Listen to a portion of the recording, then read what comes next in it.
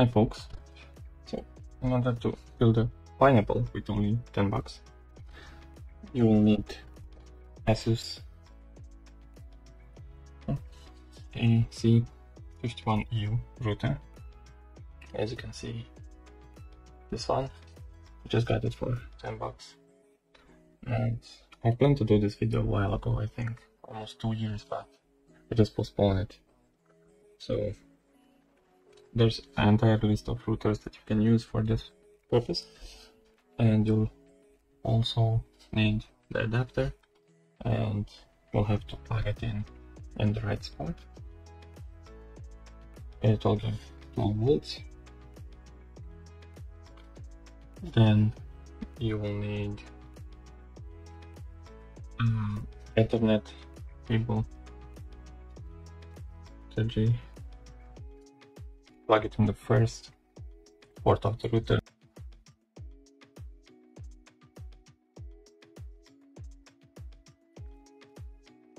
You'll need also uh, Wi-Fi uh, dongle Wi-Fi antenna that is capable of monitoring and also a thumb drive which has at least 2 gigabytes. This one has 8 and it works as expected.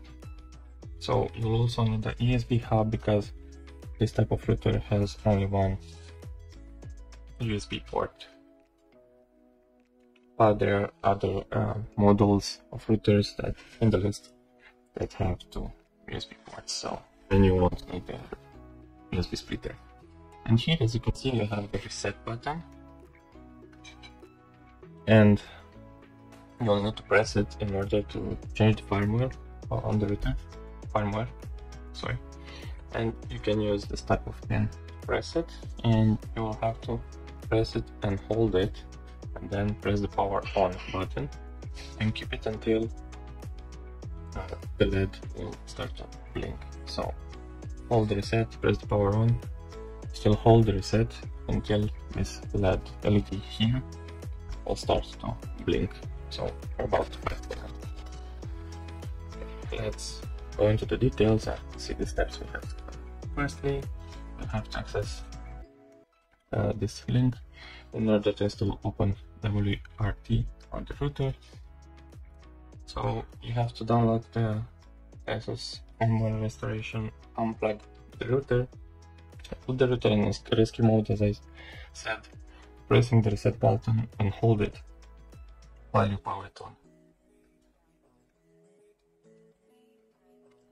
Uh, then you have to go to Windows Control Panel and disable or all other network adapters except this one and temporary uh, change the IP and the subnest connect the LAN cable between the computer and the router uh, in the first post as I said. Then rename the file you just downloaded the firmware and rename it factory.trx open the ASUS firmware restoration. You can find it find it in, uh, in Google.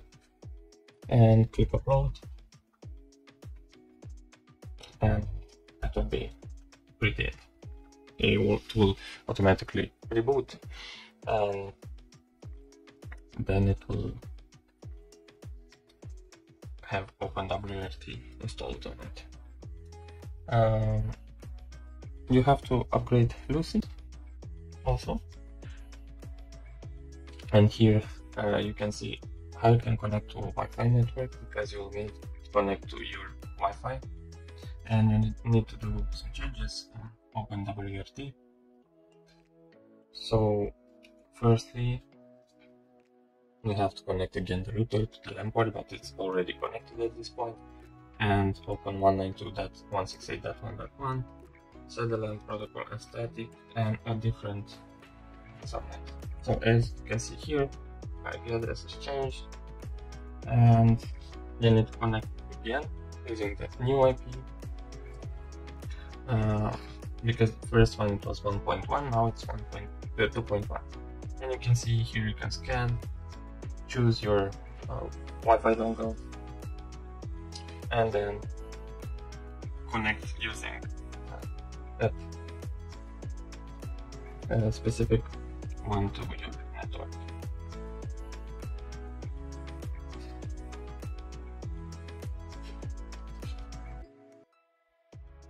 And so, uh,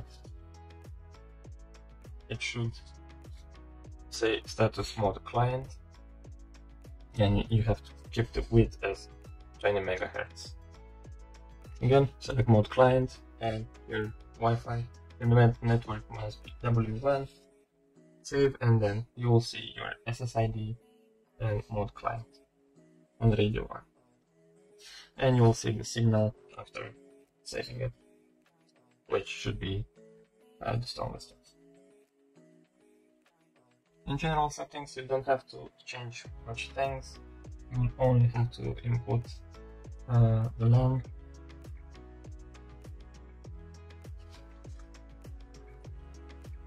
Also you must enable configuration. Uh, you can search for network.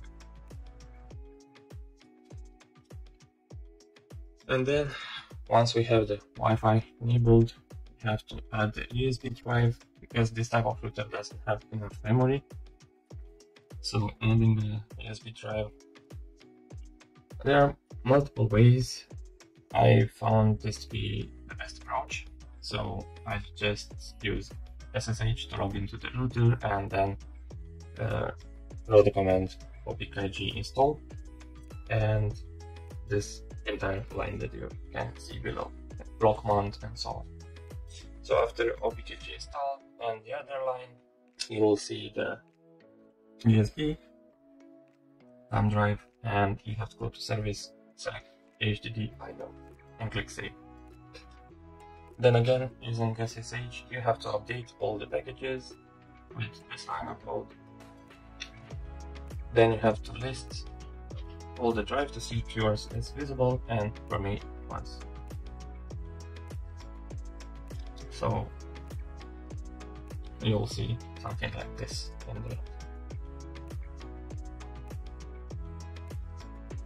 then you have to make it ext4 in order to work create the configuration file and then update the configuration file and mount the, the USB and that's it. Now you should have a working USB as memory for the OpenWRT router.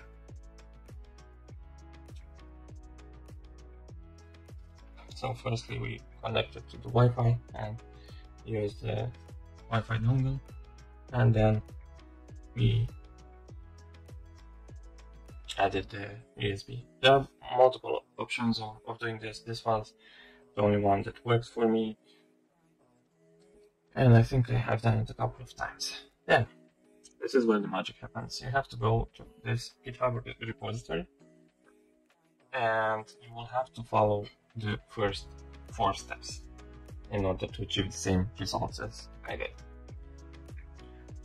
So this will be the interface of your pineapple and here you can see all the devices that are supported for this project. Uh, there's a full list and also there is an image for each. You have here a documentation, a step-by-step -step guide. I tried it, I think, multiple times and it didn't work. That's why I have to follow the steps with the Wi-Fi, with the thumb drive, and so on.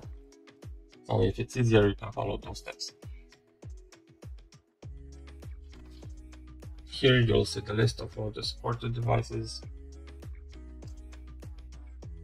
And there are plenty, to be honest. I'll search for mine and I have the first version because I have only 16 with 64 available. If I had the V1, which has 128, I think it was enough and I didn't need the thumb drive, but this is what I, I could get for 10 bucks.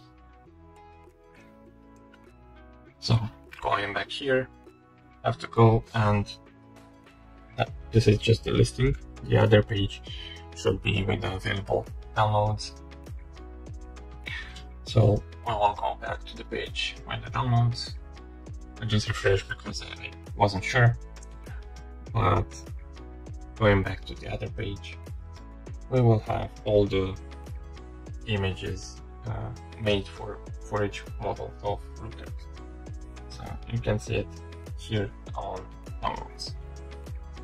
You'll have to go here and then select your router model and download your firmware. Which again with search, mine will be AC51, the first one, and download the universal, and this should be it. Here you have to just uh, press the download button. And now, going back, you have to download the tool which helps you to install this specific image. We already have OpenWRT. Then you have to use CCP. Yeah, that's correct, to upload the firmware image. And connecting to SSH, you'll have to write ACP and target that specific file, and then the root of your router and the temp folder. It will ask for the password, and then that should be it. It should take like one minute or so. Once the image is uploaded, SSH back and do an upgrade to the entire uh, operating system and then you can use your pineapple using this HTTP. So let's do the same.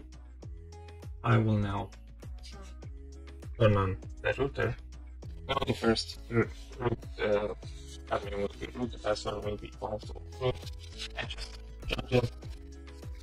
So we are now about pineapple it's not the latest version, you won't have a lot of features on it, but yet it's only 10 bucks. So let's start with the recon. We will use 30 seconds to start scanning, start the IP. And this is just to be sure that everything is working, so this can be considered a test at your first login.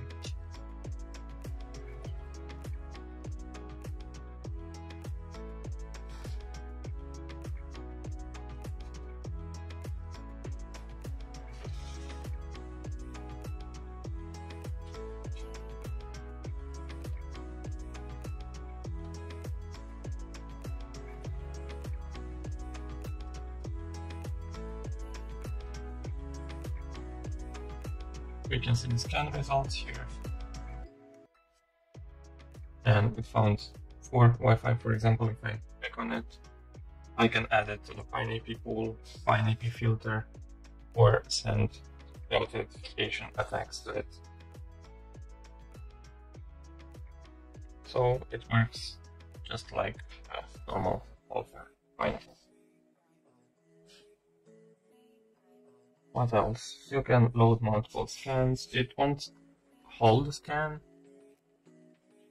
Uh, you, you can change the scan's location to hold it in your thumb drive because if it's on temp, I think the temp should also be on the thumb drive if I'm not mistaken. But maybe you need to, to change location because the temp drive, I think it cleans up after each reboot. So let's stop, let's load it. Uh, yeah, we have a couple more. So it depends on on the clients. We don't have anything, because no one is connected to it. Tracking the same because no one is connected. Don't have any modules. Nothing on filters yet. On PineAP, we have the SSID pool that I created. And you also can uh, save it to a specific location. I have it in uh, etc pineapple. I have to change it to, to the temp format. We have plugins also. We have we have system logs.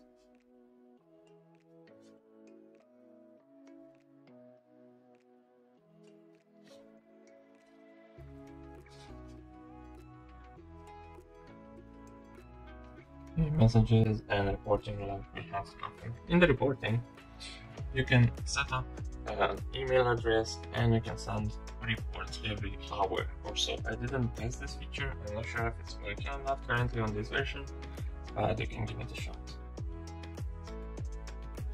On networking, you'll see the interface that you are using, and also you can change the configuration if you want.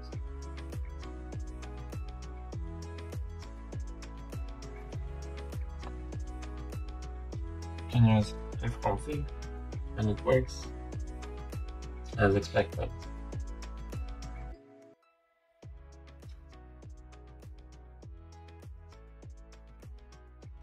Here in the configuration you can change your root if you want to. Uh, it's default I think.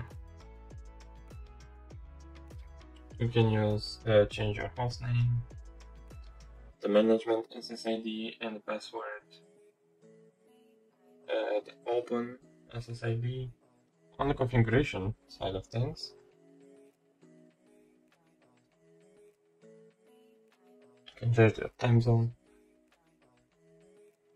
Here you can see the resources that are being used and it's using the, the time drive as you can see we have a folder which has 30 megabytes. You can check for updates but I don't think this, this feature is working. Can mm. check.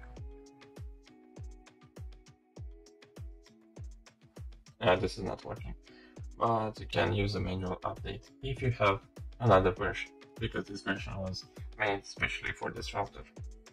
On the notes, there's nothing, and on the help, we can see some specifications for each feature that we have. So for the dashboard, recon, also plans, this is very useful because maybe you're not familiar with the pineapple and it's a very good place to start with. Also, tracking, logging, reporting, networking, so everything that you can find on the menu, we have a description for it here. So going back to the dashboards, we can go directly to the SSIDs in the poll and that's pretty much it. We can start. Again the scanning continuously. And it didn't make sense to do all the steps again on this router and film it because I will share all the links and I've displayed what I followed and it worked because I, I did a lot of trial and error so it should work for any of you and you can leave me a message if you have any issues creating a pineapple. But I think for 10 bucks, even if it's an older version and you can't update the firmware, I think it's definitely worth it. I think I have it for two years. I posted something in, on my Instagram about it and I just delayed the filming this video. So as you can see here, we have a lot out so yeah, it works. Not all the features, but some of them. I think it's a good starting point in order for you to decide if you want to buy the pineapple from Hack 5 or maybe it's not that interesting for you, but I guess the pineapple is 100 bucks or maybe more, so you can save some money uh, deciding if you need it, want it or not. So start with this 10 bucks one and then if you will need more feature you can invest in the main from Hak5.